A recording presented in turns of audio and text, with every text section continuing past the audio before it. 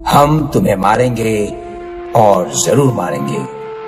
लेकिन वो बंदूक भी हमारी होगी, गोली भी हमारी होगी और वक्त भी हमारा होगा।